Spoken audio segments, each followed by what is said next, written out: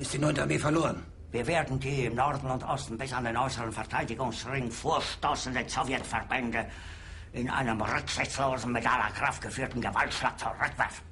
Mit welchen Kräften, mein Führer? Die Gruppe Steiner wird von Norden her angreifen und sich mit der 9. Armee vereinigen. Die 9. Armee ist nach Norden hin bewegungsunfähig. Die Feindkräfte übersteigen unsere Mannschaften um ein Zehnfaches. Wink soll mit der 12. Armee die Sache unterstützen. Aber mein Führer, die 12. Armee marschiert nach Westen, Richtung Elbe. Dann soll die Armee kehrt machen. Dann entblößen wir die Westfront. Haben Sie noch Zweifel an meinem Befehl? Ich glaube, ich habe mich klar.